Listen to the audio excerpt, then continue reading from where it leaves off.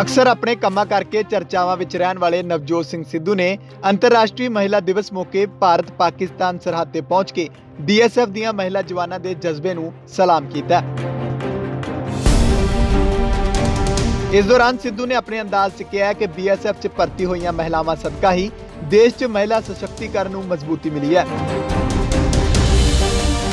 ਇਸ ਤੋਂ ਇਲਾਵਾ ਉਹਨਾਂ ਕਿਹਾ ਕਿ ਦੇਸ਼ ਦੀਆਂ ਇਹਨਾਂ ਧੀਆਂ ਸਦਕਾ ਹੀ ਦੇਸ਼ਵਾਸੀ ਚੈਨ ਦੀ ਨੀਂਦ ਸੌਂਦੇ ਨੇ।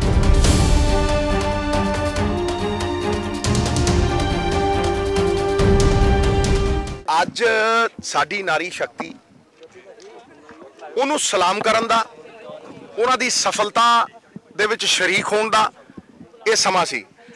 ਮੇਰੀ ਸਿਸਟਰ ਅਮਰੀਕਾ ਤੋਂ ਆਈ ਸੀ। ਸਾਰਾ ਦੇਸ਼ ਘੁੰਮੀ, ਅੰਮ੍ਰਿਤਸਰ ਵੀ ਘੁੰਮੀ। ਮੈਂ ਉਹਨੂੰ ਕਿਹਾ, ਮੈਂ ਕਿਹਾ ਭਾਈ ਤੂੰ ਇੱਥੇ ਆਈ, ਤੈਨੂੰ ਸਭ ਤੋਂ ਚੰਗਾ ਕੀ ਲੱਗਿਆ?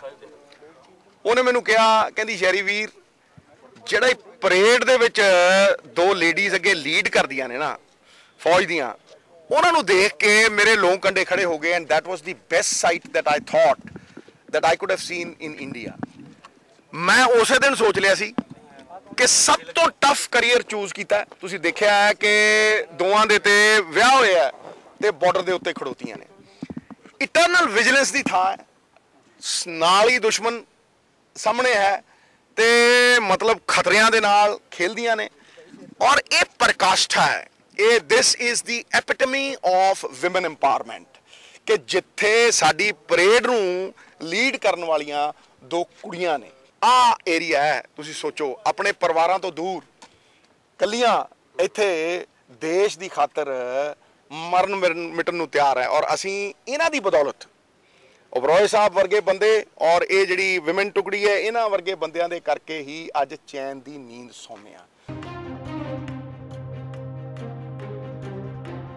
ਨਵਜੋਤ ਸਿੱਧੂ ਨੇ ਇਸ ਮੌਕੇ ਕਿਹਾ ਕਿ ਰੈਸਲਿੰਗ 'ਚ ਸੋਨ ਤਗਮਾ ਜਿੱਤਣ ਵਾਲੀ ਨਵਜੋਤ ਕੌਰ ਨੂੰ ਉਸ ਦੀ ਵਿਦਿਅਕ ਯੋਗਤਾ ਵੇਖਦਿਆਂ ਪੰਜਾਬ ਪੁਲਿਸ 'ਚ ਡੀਐਸਪੀ ਦਾ ਅਹੁਦਾ ਦਿੱਤਾ ਜਾ ਸਕਦਾ ਹੈ। ਉਹਨਾਂ ਨਵਜੋਤ ਕੌਰ ਨੂੰ 5 ਲੱਖ ਰੁਪਏ ਦੇਣ ਦਾ ਐਲਾਨ ਵੀ ਕੀਤਾ। 5 ਲੱਖ ਰੁਪਈਆ ਚੀਫ ਮਿਨਿਸਟਰ ਸਾਹਿਬ ਵੱਲੋਂ ਕੱਲ ਕੈਬਨਿਟ ਦੇ ਵਿੱਚ ਚੀਫ ਮਿਨਿਸਟਰ ਸਾਹਿਬ ਨੇ ਆਪ ਡਿਸੀਜਨ ਲਿੱਤਾ ਹੈ ਕਿ ਉਹਦੀਆਂ ਕੁਆਲੀਫਿਕੇਸ਼ਨਸ ਦੇ ਹਿਸਾਬ ਦੇ ਨਾਲ ਉਹਨੂੰ ਨੌਕਰੀ ਦਿੱਤੀ ਜਾਊਗੀ, ਜੇ ਉਹ ਗ੍ਰੈਜੂਏਟ ਹੈ, ਤੇ ਫਿਰ ਉਹ ਡੀਐਸਪੀ ਲੱਗੇਗੀ। ਸੀਐਮ ਸਾਹਿਬ ਨੇ ਇਹ ਕੈਬਨਿਟ ਦੇ ਵਿੱਚ ਕੱਲ ਅਨਾਉਂਸ ਕੀਤਾ ਹੈ। ਔਰ ਸੀਐਮ ਸਾਹਿਬ ਦੀ ਦਰਿਆਦਲੀ ਹੈ, ਚਾਹੇ ਫੌਜ ਹੋਵੇ ਤੇ ਚਾਹੇ ਸਪੋਰਟਸਮੈਨ ਹੋਣ, ਸਭ ਤੋਂ ਪਹਿਲਾਂ ਉਹਨਾਂ ਨੂੰ ਫਿਕਰ ਹੁੰਦਾ ਹੈ। ਮੈਨੂੰ ਫੋਨ ਕੀਤਾ ਉਹਨਾਂ ਨੇ। ਸਾਨੂੰ ਤਾਂ ਚੇਤਾ ਹੀ ਨਹੀਂ ਸੀਗਾ, ਮੈਨੂੰ ਫੋਨ ਕਰਕੇ ਉਹਨਾਂ ਨੇ ਕਿਹਾ ਵੀ ਇਹ ਨਵਜੋਤ ਦੀ ਅਸੀਂ ਪੂਰੀ ਤਰ੍ਹਾਂ ਫੰਕਸ਼ਨ ਵੀ ਕਰੋ ਔਰ ਉਹਨਾਂ ਨੂੰ ਪੂਰੀ ਤਰ੍ਹਾਂ ਉਹ ਕਰੋ।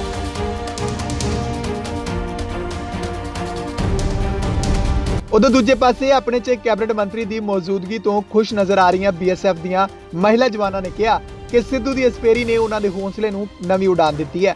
ਉਹਨਾਂ ਕਿਹਾ ਕਿ ਅੱਜ ਦੇ ਜ਼ਮਾਨੇ ਵਿੱਚ ਲੜਕੀਆਂ ਵੀ ਕਿਸੇ ਤੋਂ ਘੱਟ ਨਹੀਂ।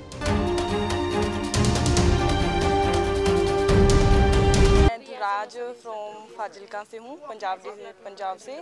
और बहुत अच्छा लगता है जब कोई मतलब हमारा, हमारे पास आता है तो देख के जाता है, उनको पता चलता है कि लड़कियाँ घर में ही नहीं मतलब बॉर्डर पर भी, रात दिन भी जैसे ड्यूटी कर रहे हैं कि लड़कियाँ किसी से कम नहीं है। ये मैसेज आता है पूरे पंजाब को, पूरे ऑल इंडिया को, हर पेरेंट्स को कि बेटी को मतलब बोलते हैं ना कि बेटी घर में होनी नहीं चाहिए, बेटियाँ होनी चाहिए, बेटियाँ किसी चीज़ से कम नहीं है।